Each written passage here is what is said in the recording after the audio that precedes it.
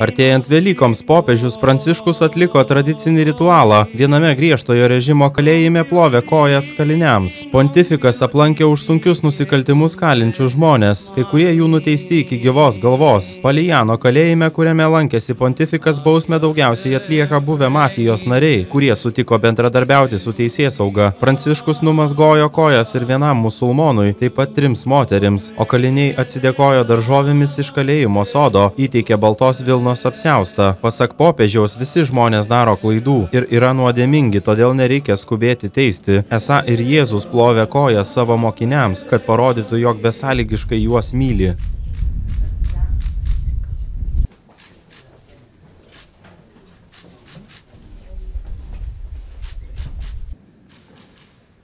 Abbiamo fatto tutti noi. Tutti detenuti.